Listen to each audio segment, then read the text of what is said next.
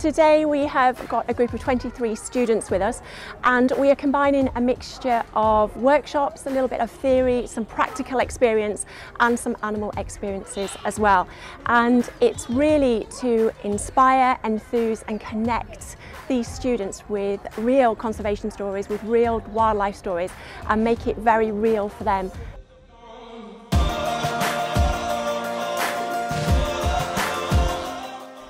For a lot of our children, they might come to a zoo if they're lucky, but they certainly would never get to go behind the scenes and see what goes on behind the scenes and handle the animals and get to go into the enclosures.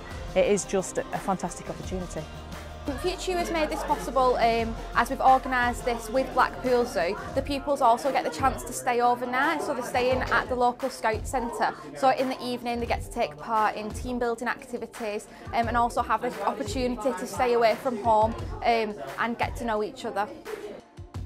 We've been in the zoo, we've been feeding giraffes, we've been mucking out giraffes. Some of the students have been feeding the zebras and obviously mucking out the zebras as well. Uh, we've been learning about artefacts, we've been learning about conservation. It's been really good. So potentially they could work in this industry, they could be motivated to change what's happening in the world right now and to become conservationists themselves. They're coming to life here at the zoo and they're enjoying every single second of this learning journey.